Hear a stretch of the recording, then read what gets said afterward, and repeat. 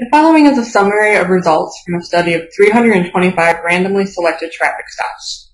So from this table you can see the group of people that were wearing seatbelt and the ones that were not wearing seatbelt, and then it's broken down into the different age groups.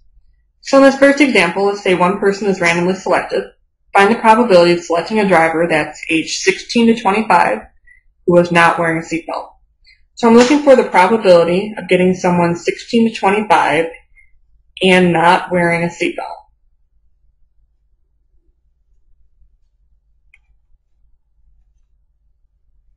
So I'm going to look at my table. First of all, I'll go to the people 16 to 25. So that's that first column.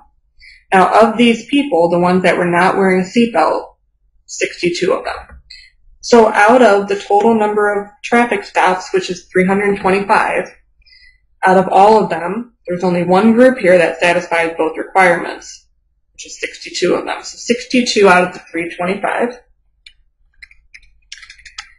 So we're looking at about 0.191 or about a 19.1% probability.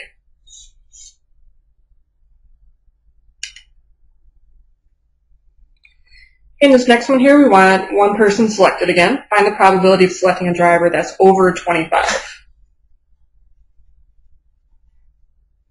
So looking at our table here, that's actually two columns. So the people that are over 25 are 26 to 40 and also over 40.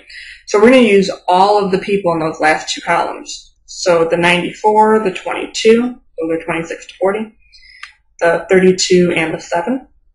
So all of those drivers are over 25, and this is out of everybody, which is 325. So 94 plus 22 plus 32, 7 is 155. So 155 of these are over 25. So dividing that out, we get about 0.477 or about 47.7% probability.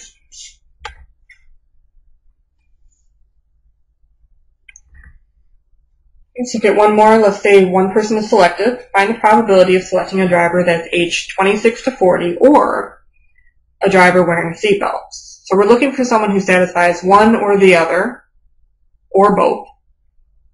So we're looking for someone 26 to 40, or wearing a seatbelt.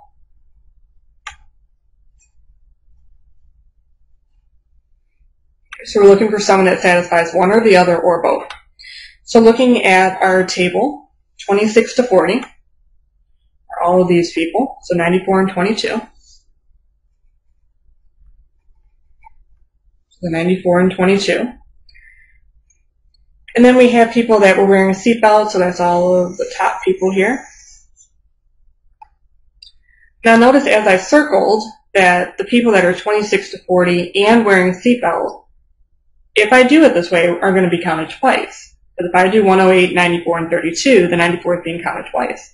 So I don't want that, so I'm going to take out that overlap. So 94 is already in here. So I'm just going to add the 108 and 32. I want to count 94 twice.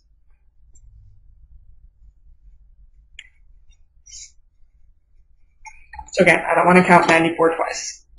So 94 plus 22 plus 108 plus 32 is 256.